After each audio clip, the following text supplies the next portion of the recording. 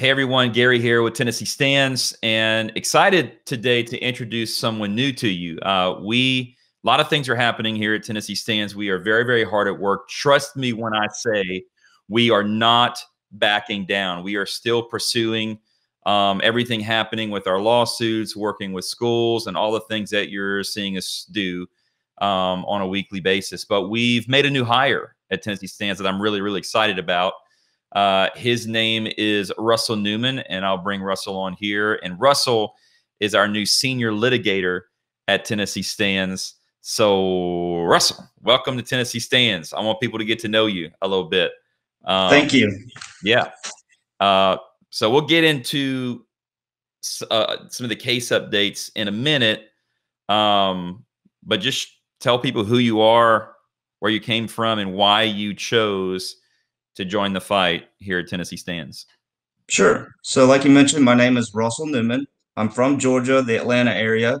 I actually grew up in Fulton County, which is now in the limelight nationwide with the election fraud. So, back in uh, 2010 ish, we recognized that Fulton County was going downhill. So, uh, before I went to law school, we had identified Williamson County as a good place to go. It's conservative, Christian, booming economy. It's got it going on. So I went to law school, uh, then moved here to Nashville and took the Tennessee bar, and I've been practicing here in Williamson County, uh, Tennessee area. But we picked out Williamson County because it's a fantastic place to live. So that's how we ended up here. And I, I see I see you got the high and tight going a little bit. Tell tell, tell us about there's there's more there's more about the haircut than just the haircut, right? so um, in 2003, uh, I was 17, and so I was emancipated by my parents, and I joined the United States Marine Corps. Uh, and so when my stu- my fellow uh, high school classmates were packing their bags going on their senior trips, I was packing my bags going to Parris Island. So in 2004, I went into the Marine Corps. I was a hydraulics and airframe structural mechanic on F-18s. The Blue Angels are the airplanes that I worked on. So over the summer, I was at Parris Island, did combat training in Camp Geiger, did aviation school in Pensacola, and then a second aviation school in Oceana, which is Virginia Beach.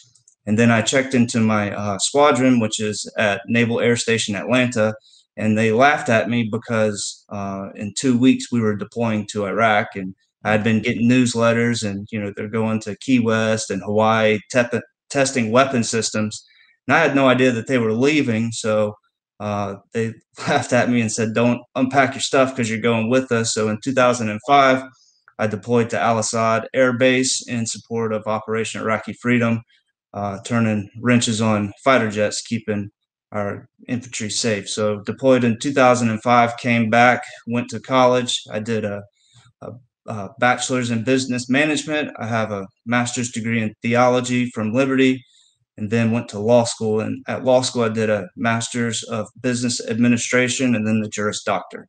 And I actually met my wife in, in law school, and she ended up moving to Tennessee with me. We did a JD MBA uh, together, and I'm actually sponsoring her to the Tennessee bar. So I'm really excited she's about to become a lawyer.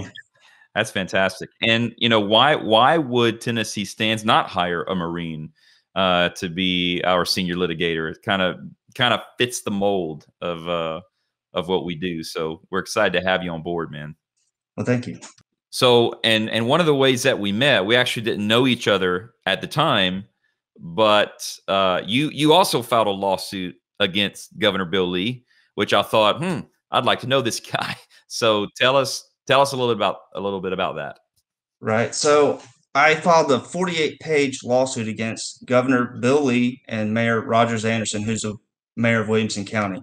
And the lawsuit is a complaint for declaratory judgment. What that means is I'm asking the court to tell me what my rights are. What can the government do to me or order me to do during this uh, state of emergency? And so some of the issues that I am bringing up in my lawsuit uh, is whether the governor has the authority to suspend our constitutional rights, the federal constitutional rights that are given to us uh, during a pandemic, whether the governor has the authority to suspend their state constitutional rights during a pandemic or a state of emergency. Another issue is whether, pursuant to the emergency powers, the governor has the ability to suspend your rights. Uh, so I contend that the governor does not. And so the, the lawsuit is asking the court to rule on the merits whether the governor has these authorities. I'm also challenging or I'm claiming that the governor has no authority to infringe on our constitutional right to peaceably assemble. We have a constitutional right, both in the federal and state constitutions, to peaceably assemble. And I don't believe that the governor has the authority to ban social gatherings of more than 10 people. I'm challenging whether the governor has the authority to infringe on our constitutional right to travel. We have a right to travel, and I don't think that the governor can infringe upon that federal constitutional right. I'm also challenging whether the governor can infringe on our right to engage in interstate commerce. Can the can the governor declare some businesses essential, non-essential, shut them down? I don't think he can.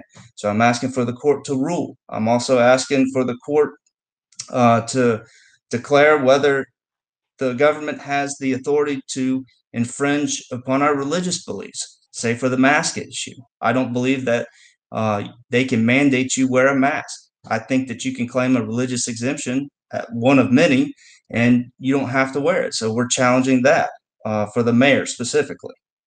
So, so I want to ask you a quick question. I'm gonna, I'm just gonna take, I'm gonna take a guess. I'm gonna take a wild guess here. Um, you filed that lawsuit, and then the state subsequently filed a motion to dismiss your case based on you not having standing.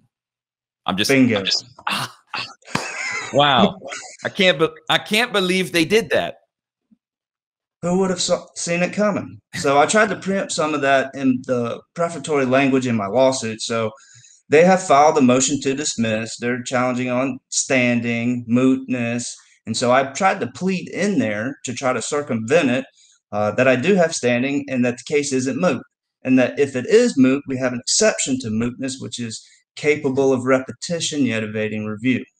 Okay, so I want I want to talk about that issue of standing. I I, I did a video um, week or two ago because, as you well know, obviously, um, our case that we filed on August twenty seventh, twenty twenty, against Governor Bill Lee in Davidson County has now been dismissed. They, they the, the, judge granted the state's uh, request for dismissal uh, based on standing, and so we're now filing an appeal. Um, you are actually now filing, going to be filing that appeal for us, and um, and one one of the arguments that we're making now is that we, you know, ashamedly, I didn't find this before, but but now we have, and there's a statute in in Tennessee Code annotated 13121 that that seems to say uh, which by the way the statute was passed in 2018 which which seems to say that a citizen of this state has standing to ask the question is my government acting lawfully or constitutionally we we have a and and that and that the statute has granted a citizen standing to simply ask that question. Um, now you found we started talking about that, and you found a case from 2018 um, where a appellate court judge had said that that statute really doesn't change anything, and the way it's worded, um, that a citizen still requires standing you just can you just talk about that for a minute, and then we'll I'll pull up this letter here in just a second. Sure. So the court found that you still have to have a distinct and palpable injury in order to have standing to bring the lawsuit. Uh, in my lawsuit, I contend uh, that I have a federal right to petition the government for a redress of grievances. I have a state constitutional right. And then the statute that we're talking about, and I'll just read it real quick. It says, notwithstanding any law to the contrary, a cause of action shall exist under this chapter for any affected person. Any affected person so, who seeks. So, so keep keep going, but we're going to come back to that in a minute. For any affected person who seeks declaratory or injunctive relief in any action brought regarding the legality or constitutionality of a governmental action a cause of action shall not exist under this chapter to seek damages, damages, money. Right. So you have a right by this statute, which I thought the the state and federal constitution uh, was clear. The the state Constitution is clear, and this makes it even clearer because this is the General Assembly passing a bill and the governor signing it, saying that if you're affected by governmental action, you can seek declaratory or, or injunctive relief. Declaratory judgment, what are my rights? What can the government do to me? Injunctive relief, that is uh, an injunction which forever forbids the government from doing that again. So in my lawsuit, I'm seeking a permanent injunction saying if this is a constitutional violation, you don't do it again. So let's talk real quick about the phrase affected person in the statute because that, that was one of the phrases that the appellate court used to say that the statute still required a citizen to have an injury, a palpable injury or standing because because of the word affected person. But it it was as you saw, I pulled the video from the House floor from when the bill was presented. And they made it clear that their intention of the term affected person was any taxpayer under the jurisdiction of the state affected by the laws being made. That if you're a citizen and a taxpayer and a an unconstitutional law is made, you're an affected person. But that's not the way. Am I right? And is that the court didn't see it that way? That's correct. And so yeah. we drilled down deeper and found the legislative intent. And Representative Glen Casada uh, is pretty much saying that is the purpose of this statute is to give or to provide standing, as if it weren't clear. He was saying that we already have it, but we're making it even more clear. Yeah. So, so I'm glad you mentioned Representative Casada because it just so happens that I, I have a letter here from Representative Glen Casada. So whenever all this went down, um, I called Representative Casada and asked him, Sir, here's what the court is saying. Was it in fact your intention whenever you ran the bill in the House and presented the bill for passage? Did you intend to give citizens standing? He said, Well, yes, I did. I said, Well, the court doesn't see it that way. So here I want to read this, this statement on page two of his letter. Here, right at the top and really you need you need nothing more than this one statement. So and and then i'll have you talk about legislative intent which certainly i think this is coming directly from the the horse's mouth so to speak. So representative Casada says this so i would like to state for the record that the legislative intent of this law is to secure the right of every citizen or affected person by way of being a taxpayer under the jurisdiction of the laws of the state of Tennessee to question the legality or the constitutionality of a governmental of governmental actions by declaratory action or injunctive relief in the courts. As such, the legislature has granted all citizens of the state standing to bring these actions against the government. Now, now I'm I'm gonna really love to see the judge's reaction to this statement. What what do you what do you suppose that might be, and how how should the judge look at this letter in terms of interpreting the law, in terms of trying to find legislative intent? So it puts the courts in an interesting position because there is a court of appeals case that pretty much says it doesn't change standing, but when we look at the the legislative intent, it says that it is providing standing. And so for the legislative intent, let me just read this real quick. This is Representative Glen Casada in the General Assembly. They're taking questions about the statute as to the purpose and to the intent. And so Glen says this is giving the right of the citizen to take government to court if they violate our state law or our constitutional rights. It makes it very clear and cold that we have that right. Then the representative John Ray Clemmons, he's he's asking questions about the breadth. He's concerned about the breadth of yeah. This. What what what is this law going to affect? And so he uh, answers it, says that it's going to affect declaratory judgment actions, and he says or injunctive relief, and he says yes, injunctive, and he says across the board. And the answer from Glen is that is the intent. We have a constitutional right to take our complaints to court on a government that doesn't comply with state law. So what they're doing is they're providing it as if the Constitution wasn't clear enough. What wasn't enough to provide it? this statute is making it abundantly clear. And what's what's crazy is it wasn't clear enough. So now we're drilling down to the legislative intent. And I don't think you can get much clearer than this. That is the intent. We have a constitutional right to take our complaints to court on a government that doesn't comply with state law. So I want I want to it's important we drill down on this for a minute because you you so you they passed a law to make it clear that law was adjudicated in court and the court said it wasn't clear. So now we've gone back to the legislator who ran the bill and he's reclarifying that no you're wrong, you're misinterpreting the law. This is the legislative intent. So what what now if the if it just so happens that the court still rejects the premise because one of the issues that we're facing right now is there there's a there's a interesting belief seemingly amongst a lot of people because of various Supreme Court rulings that courts make laws. I, I have heard so many people say they'll, they'll they'll reference a Supreme Court ruling and they'll call it the law of the land.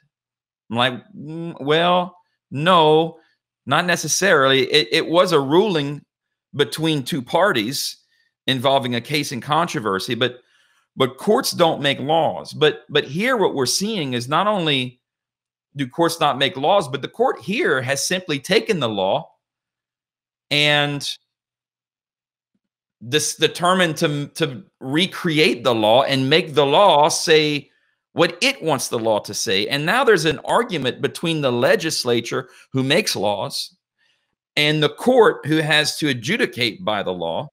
And there's an argument between the two branches as to what the law means. Who should win? I guess what I'm asking you is, and why talk speak to that. Who should win that argument? But as to what the law means, the legislature or the judicial branch? the legislature. I mean, they, they're the one that passed the law. They're the one that had the hearings. They're the one who was asked the purpose behind the law. So the, the court is supposed to carry out the will of the legislature, and this makes it abundantly clear. Now, I will say that courts can only decide that which is presented before. So I think the best case outcome is to present this to the legend or to the to the courts and say, look, this is the intent of the law. It is designed to give standing and they have the ability to do that. So now that this is before you and you're aware of it, we're going to ask that you issue a ruling that's consistent with the General Assembly's intent. And the General Assembly is representation of what the people want. And and I, as I'm thinking about this, you know, in terms of what we're able to get out of this lawsuit, number one, obviously, thank you to Representative Casada and the General Assembly as a whole for passing this law. That was certainly step one into clarifying the rights of individual of the individual to petition the government. But if we're actually able to get get this ruling in court and actually set the court precedent that yeah this is in fact what the law means and citizens have a right to take their government to court that's going to would, would you imagine that that's going to change a lot here in tennessee in terms of our rights being secured to petition the government absolutely i mean if if we look at what's going on now, I don't by the the state's argument, I don't even have the right to know what my rights are. That because of the standing issue. I mean, that's right, outrageous. Right. I mean, if if I'm affected by government action, if I'm locked in my house, if I can't go to the store, if I can't if I can't gather with people because there's more than 10 people involved and, and I want to ask or petition the government for a redress of grievances, which is a right, how am I supposed to do that if, if I can never have standing? So, I mean, that's the point is to give people standing. And it also keeps government in check. If they can take you to court and, and, you know, file a lawsuit against you and they have standing, that keeps the, the government in check. Right. Yeah. Which is, which is, I think, precise. You know, you have checks and balances with within the branches of government. This is the ability for the people to bring a to bring a check as part of those checks and balances. It's a great system as long as we don't ignore it, which which we currently are. Um, final thing I'll say about standing, which I thought was interesting, you know, in the in the uh, Judge uh, Chancellor Moskal from Davidson County when she wrote her opinion when she dismissed our case against the governor. You know, she literally in in defining the fact that we lack standing. One of the one of the reasons we lack standing, and I found this so interesting, is be is not only because we didn't have a direct and palpable injury but because the injury affected everyone equally. And so, because it affected everyone equally and did not affect me distinctly, that I didn't have standing. So, can we just think about that for a moment? If if that if that's how we're going to roll in the court, within what law could you challenge in court? Because all state law is going to affect the population equally. It's a state law. So then I guess they can make all the unconstitutional laws they want, and you can never challenge them in court because it affects everyone. That's am I am I off? It's a ridiculous argument. Oh, you're on point. I mean, there's not much more to say, but that was literally what what she said.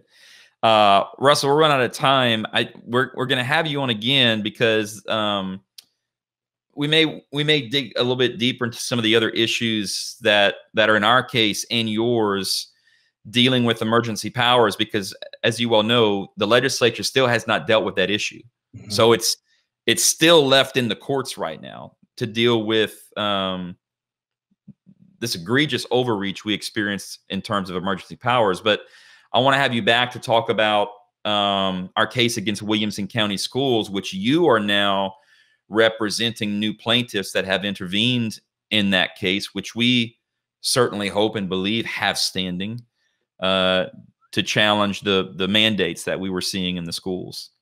Um, I, why don't why don't you why don't you intro that a little bit to close? Sure. So uh, Raina sent her son to school not wearing a mask after this uh, order came down, which it was an alternative order uh, saying dismissing the case for lack of standing but then saying if there is standing, we find that you know the the school board doesn't have the authority to mandate a mask. So Raina sends her child to school, and he has the copy of the order and says that I'm not required to wear a mask. You don't have the authority to do it. Send him with a letter, and then uh, he gets sent to the principal's office. And so she gets a phone call saying that he has to put a mask on or he gets ejected, thrown out of school. And so in Tennessee, our children have a constitutional right to go to school. I mean that that is a right. And so uh, he's well, saying, well, constitutionally, uh, Article 16, Section 12, the General Assembly is giving a constitutional mandate to provide for the free and public education of children in the state. That's absolutely right. And we put that in the lawsuit as well. So he has a right to be there. I mean, it's not something that we're making up. It's in the Constitution. And so he's told you're either going to put on a mask or we're going to throw you out. And so he says, Well, I'm not putting on a mask, and they throw him out. So that's standing. That that's a distinct and palpable injury. He got thrown out of school and he was forbidden from being there, even though he had a right to be there. So we're trying to intervene in the case. The case uh, was pending, and after a final order is entered, there's 30 days between uh, the time that it's entered and that you can file a motion to alter or amend. And what you're asking the court to do is to alter or amend the judgment. What we're asking the court to do is to let us intervene as plaintiffs withstanding and pretty much reset, redo it, because the whole purpose of the law is to adjudicate the case on the merits and have justice, have now, final resolution. Now, wait a minute. Before we close, I want to ask you one more question. So you you filed the motion to intervene. Correct. I'm gonna I'm gonna take a wild guess here. The the defendants filed a motion to dismiss based on standing. Bingo. I think we've stumbled on a pattern.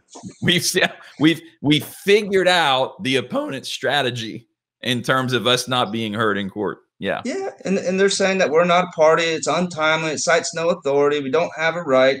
Uh, it's already been dismissed. The order is final. What's your final kid, order? Your kid got thrown out of school, but you have no right to challenge the law. That's what say. Un- undeserving of of being in court. It's it's outrageous, but oh oh moot. That's another one. Moot. No longer a mask mandate, so you can never find out what your rights are. Yeah, well, the reason it's not moot, of course, which I, which we need to argue, is the fact that they're they're going to do this again next year. The the the new one is going to be if you're unvaccinated, you have to wear a mask. That's going to be the new one, um, which which is is my concern, obviously. Well, Russell, um, I'm so glad folks got to meet you today. Um, I look forward to them getting to know you more and um, and working with you. I think it's going to be a lot of fun. Um, thanks for joining us. And hey, thank you for watching us here at Tennessee Stands. If you haven't yet, uh, please make sure to go to tennesseestands.org and hit the subscribe button. Sign up for our emails. That's that's really critical as we uh, continue to keep you informed, especially as we get back into legislative session. And next year, y'all, is 2022. It's elections, so you're going to want to stay engaged um, with us as we walk through that together. All right, thanks for joining. See you next time.